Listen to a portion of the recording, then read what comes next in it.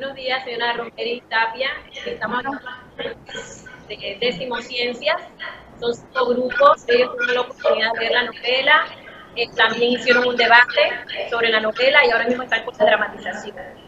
Ellos tienen bastantes interrogantes sobre la novela y pues me gustaría pues lo posible que usted se la. Ellos ya lo dirán, ¿verdad?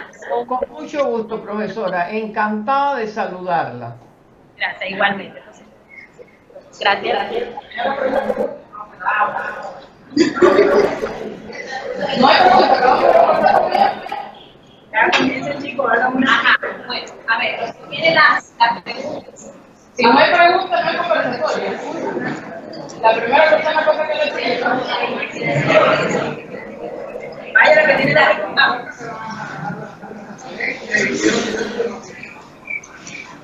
Tienen que pasar más rápido entre una pregunta y otra. Dígame, mi niña.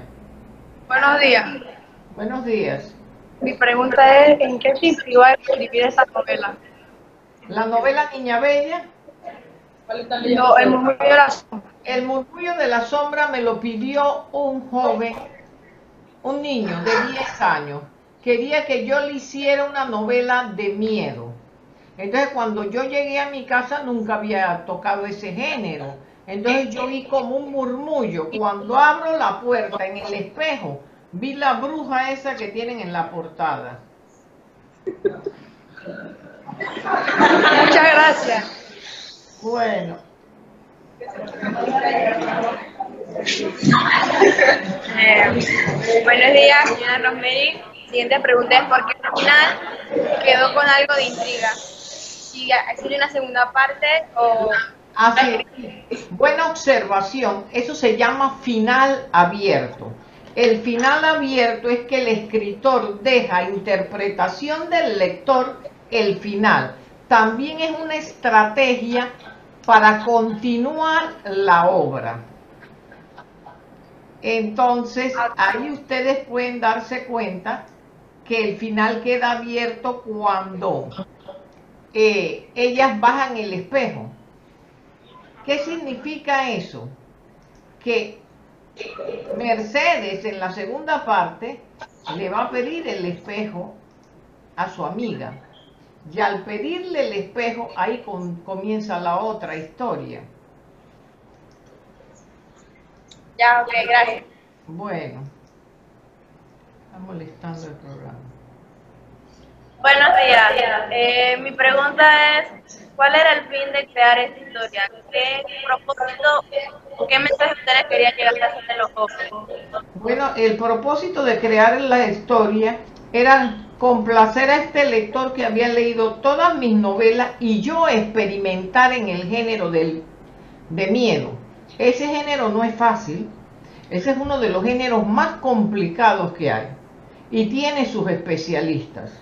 Y yo me manejaba muy bien en la novela social y en otro tipo de novela, pero no en la novela de miedo. Así que para mí fue una nueva experiencia. Ok, gracias.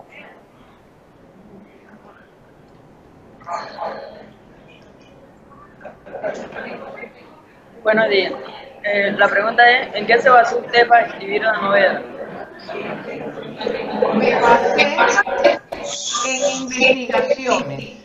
Yo hice investigaciones, investigué el género de miedo, hice lecturas, hice un trabajo como una investigación para entonces poder desarrollar la novela. Gracias. Bueno.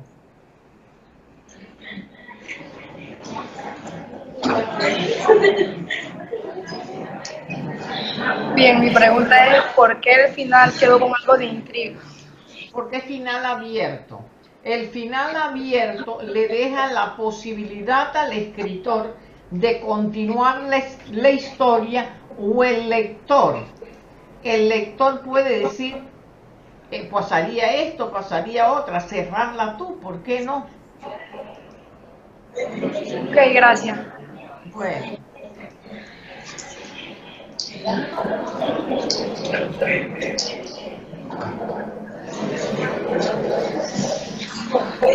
Rosemary, lo que usted escribió es ficción o le sucedió a una persona. Es ficción, toda esa novela es ficción. Es ficción totalmente. Ok, ok. Buenos días. Eh, mi pregunta sería, ¿por qué guardar exactamente el espejo y la lámpara en una tela negra? Para eso mismo, para proteger el espejo. Para proteger el espejo y ese es el elemento de el traspaso dimensional. Entonces por eso, acuérdate que en el tiempo de antes los espejos los cubrían, en la misma novela yo lo explico, con una tela negra. Eh, ¿Por qué elegir especialmente el país de Honduras para hacer esa escena? Porque cuando yo estoy haciendo una novela, yo pido que me llegue información y en ese momento me llegó información de Honduras. Azar. Bueno. Eh, mi, mi pregunta es... Espera un momentito que aquí dejó de compartir la pantalla. Está molestando este programa. Compartir pantalla, vamos a ver. Ya sale, espérate. Vamos a ver aquí. Ya sales. Bien, eh, mi pregunta es, ¿por qué consultaron para psicólogo? ¿Por qué no ir directamente, por lo menos, si ella estaba eh, experimentando fenómenos paranormales, ¿por qué no ir con un sacerdote y por qué irse más a lo, a lo medicina en vez de a lo paranormal? Porque ella al principio pensaban que eran alucinaciones. Entonces, ese tipo de, de alteraciones las atienden los psiquiatras y los psicólogos. Y mi siguiente pregunta es, eh, ¿por qué el título? ¿Por qué ese título en sí? Por la explicación que yo di que cuando yo iba entrando a la casa yo oí un murmullo y cuando abrí la puerta vi una sombra. Ah, ok, gracias.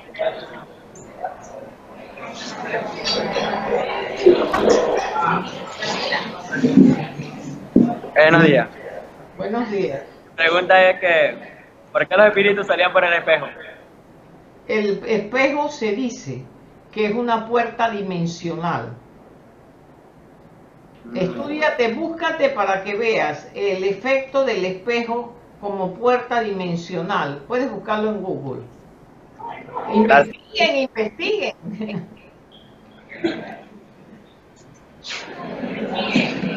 Eh, Mi pregunta es, ¿por qué Yamina no falleció y- al igual que los demás, como el tío Julián y los demás personajes? Es- espérate, esa es una pregunta buena. Porque quien fallece en la historia, fíjame que aquí no está saliendo, y esa es una pregunta buena. El, el, el, escritor- el escritor, el escritor escoge quién quién fallece y quién no. Entonces es importante, aquí dejo de compartir pantalla. Aquí estamos. El escritor escoge quién fallece y quién no. Entonces uno busca este dependiendo de la trama de la novela. Ah, ok, gracias. Bueno. Buenas. Eh, mi otra pregunta es referente al cómo Yasmina y Julio se relacionaron. Eh, lo que pasó en la novela, ¿por qué fue tan poco tiempo? Ya que le recuerdo que ahí dice que no había pasado ni un mes de la muerte de Mario cuando ya ellos se habían relacionado. porque ella estaba muy vulnerable. Cuando las personas están vulnerables, toman decisiones equivocadas. Y entonces ahí es donde tú tienes que ver y analizar qué es lo que está pasando. ¿Por qué ella? Ella estaba muy vulnerable y ella sintió en Julio un apoyo. Ok, gracias. Bueno, ¿Ya? mi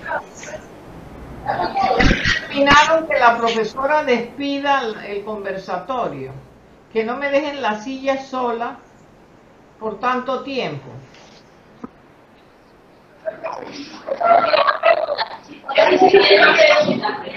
Eh, Espérese, profesora, que aquí dejó de compartir el programa, se ha dañado hoy.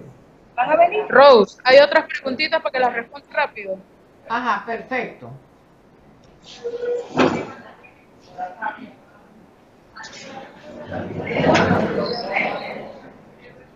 Pero el otro, el próximo, tiene que estar al lado para que no, no se pierda tiempo.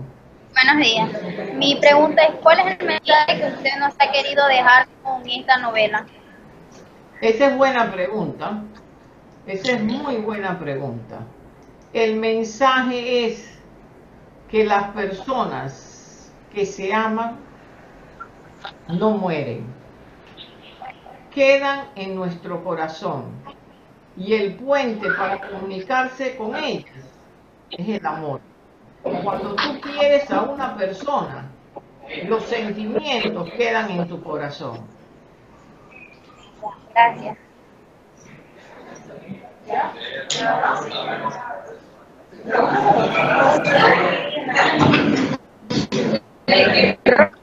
Pregunta popular. ¿Usted es hermana de Juan Carlos Tapia? Ah, Genio, acá hizo la pregunta. Claro que sí, déjame aquí compartir con la, la pantalla con la profesora porque está molestando el, el programa aquí. Vamos a ver aquí para que la... Ahora sí, profesora.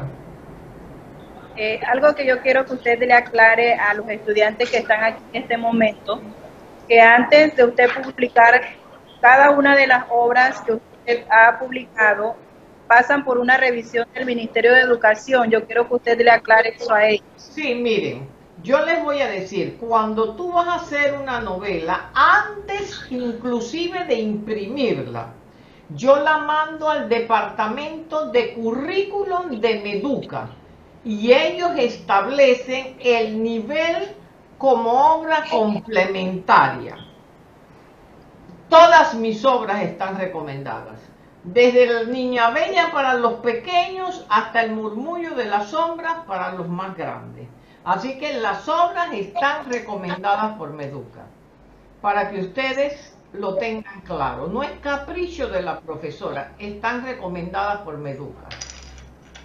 Entonces podemos decir que cada obra que ellos han leído está revisada. Hay una, hay una chama que tiene una pregunta. No, y que, no, el problema fue aquí que se cortó.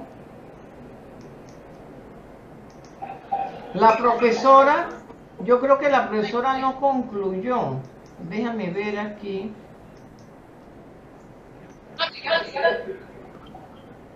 Espérate un momentito para compartir.